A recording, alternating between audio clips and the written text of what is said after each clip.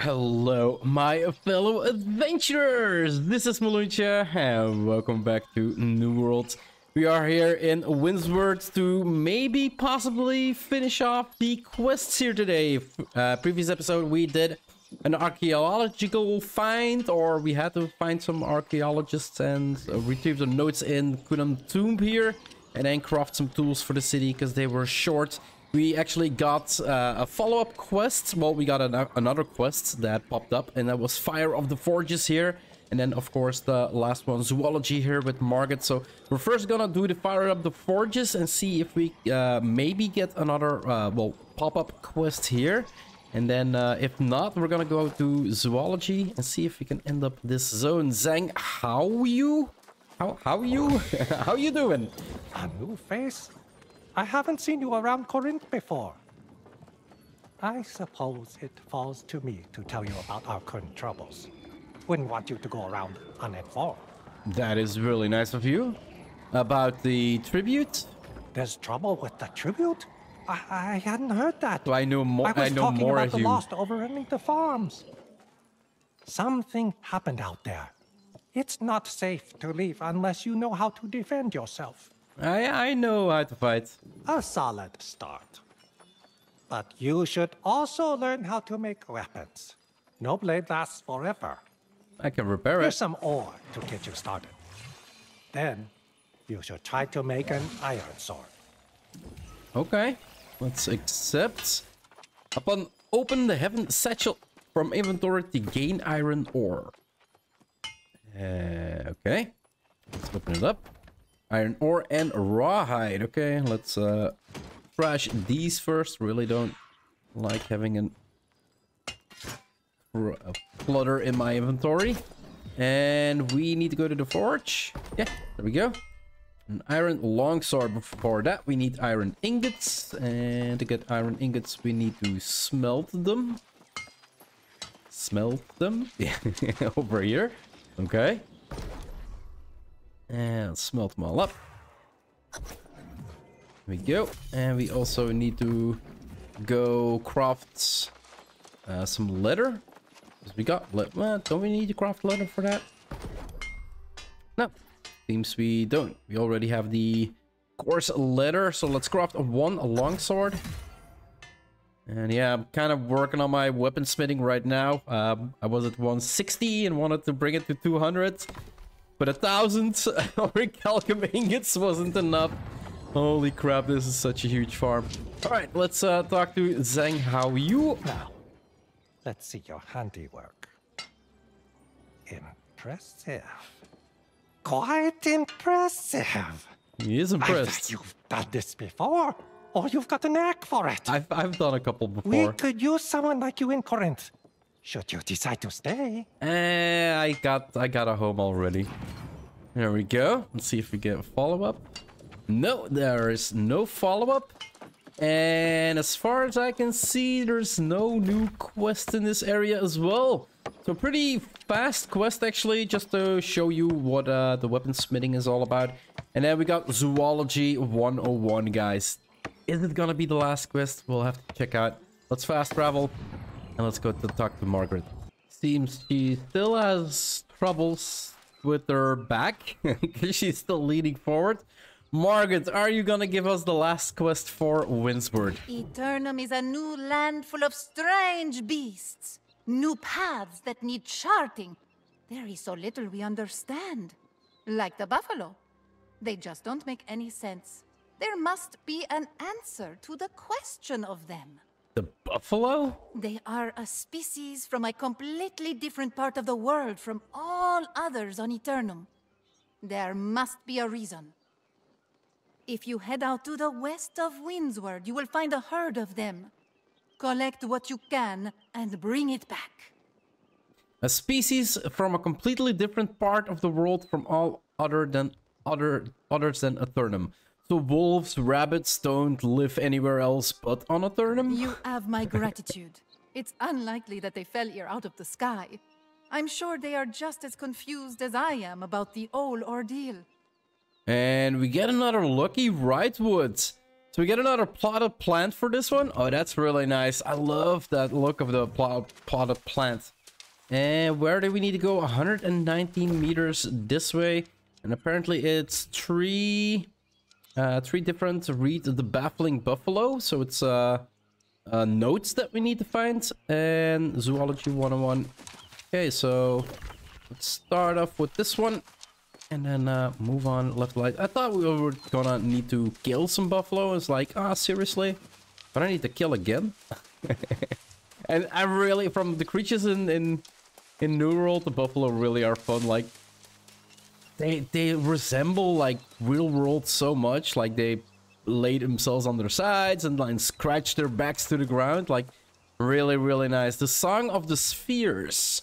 Let's add and read it. And there's apparently three uh, notes to this one for the Tales of Windsward. Further investigation is required, but for now I must return to town. I'm out of pie. Eureka! Today I made the most dazzling discovery. Near my campsite I stumbled upon a large sphere and not unlike those famous found at the Amrine Temple.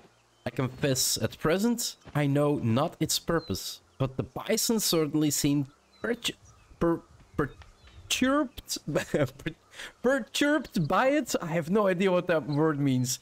They will not go near the thing, so I sat on top it to finish my lunch safe from their thieving mouth. It was there eating the last of mother's elderberry pie that I listened to the bison once more. As they huffed and puffed their annoyance at my presence seated atop the sphere, I realized where I had heard the rhythm of their panting, uh, panting before, at the Amrine Temple. There, if you stand amidst the other spheres on a particular still day, you can hear the sound of the old machinery groan and settle in the soil. There's an audible rhythm to the place, the same familiar drumbeat of the bison's every breath. They are repeating the song of the spheres, and I don't know what this means, but it is a link between the beasts and the ancient people of this land. I must return to the settlement immediately and document what I have learned. Further investigation is required, and what's worse, I'm out of pie. uh, really, really funny. So the next closest by is the one in front of us. So let's pick that one up. Seems it's in the middle of the road. The Baffling Buffalo. I've set out uh, for the western reaches of Windsward to make a study of what they what the locals call the buffalo. Although by their description, I suspect they are more likely a species of bison. When I arrive, I will be sure to correct this misconception.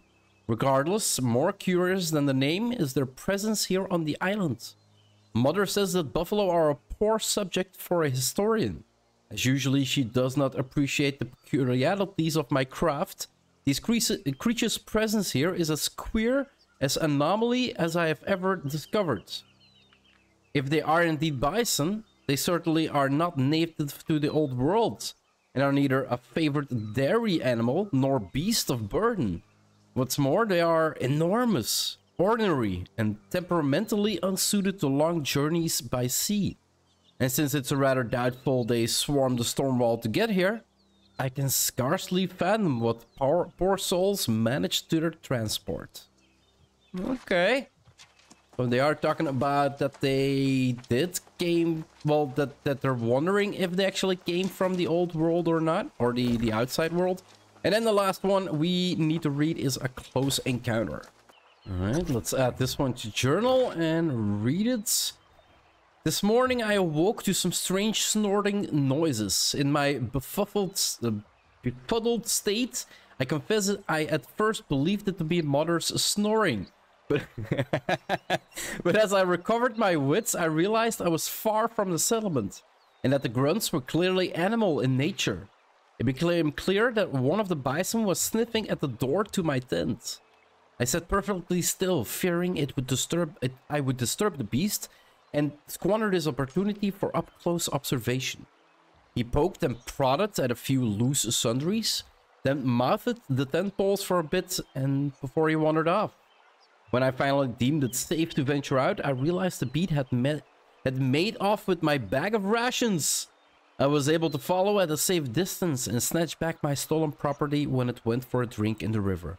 I can hear it groan, gro groaning, crowning in the distance, as if to lament the loss of my butchel of apples and mother's elderly pie. I might sound crazy, but I can't shake the feeling its huffing has a familiar rhythm to it.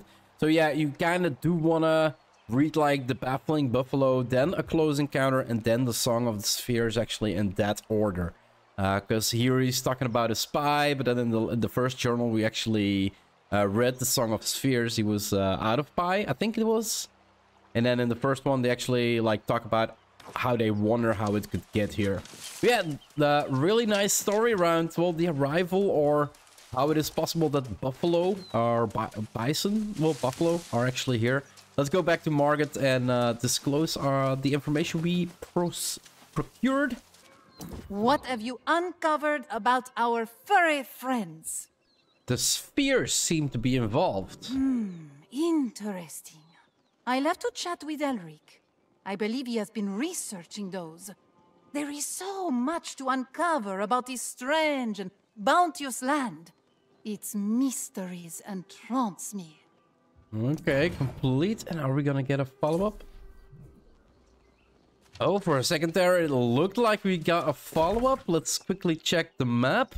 And the map is empty, guys. Oh, this always feels so good once you actually complete a, a zone, right? So for the next episode, guys, we have Everfall, and Everfall is kind of loitered. Let's uh, quickly do a count. One, two, three, four, five, six, seven. Seven on the outside. Four, seven. And how many? We got one on the inside, the Magnus Opus. But I'm gonna sit my ass down here and end this episode like I always do. If you want to see more of my Let's Play here in New World or any other game I play on my channel, just hit that subscribe button, guys. It would always help out a lot. Before I leave this episode, the best of wishes for uh, the holidays to come, Christmas and New Year, and well, yeah, basically everything uh, that might happen next year. I kind of forgot that in the previous episode on Christmas Day itself. Yeah, the best of wishes to all of you guys. Like I said, hope you enjoyed the episode, and I'll see you in the next one. Bye-bye.